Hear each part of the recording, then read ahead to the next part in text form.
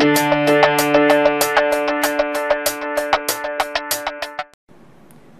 I'm Sam Kelly. I'm an artist and educator, and today I'm going to show you how to do a mouse activity for kindergarteners. You will need three colors of felt. I have a nice hot pink here, brown and black. These are my mousy colors. You'll need two googly eyes, you'll need a pair of scissors, and you'll need some nice strong craft glue. So here I've cut sort of a, I guess like a pear shape for my mouse body. And this part looks like a bow tie. Of course, I've just folded it in half and cut my little ears, unfolded it. Same here, I folded the felt in half and cut it so that my mouse is nice and symmetrical. And here on the back, I've made some marks where I'm going to cut into the felt. So here it's just about an inch or so from the tip of the mouse's nose and this is where the ears are going to go. So let's make two little cuts. The idea here is that the kids won't have to be um, gluing or putting a bunch of complicated things together. They're just going to pull the ears through this hole here. And same at the back, which is where the tail will uh, go through.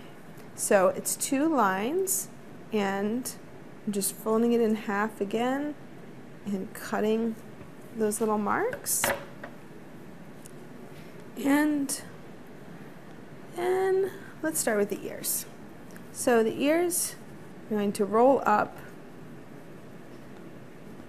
and put through, and it's going to go underneath this little um, piece here in the middle. So pull it through the back and then push it through the other side. This felt's pretty indestructible, so should hold up even with those rowdy five-year-olds.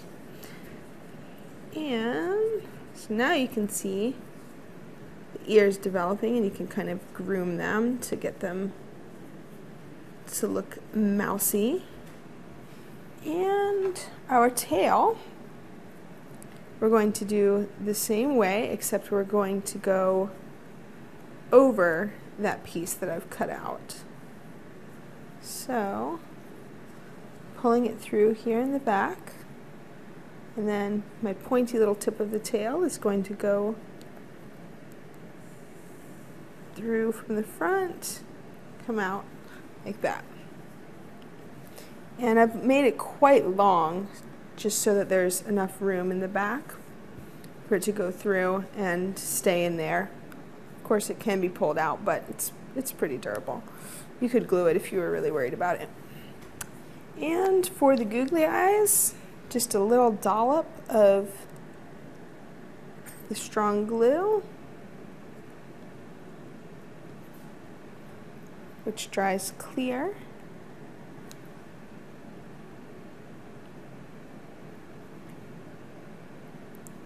And there he is, our little mouse. That is a mouse activity for kindergartners. I'm Sam Kelly. Thank you for joining me.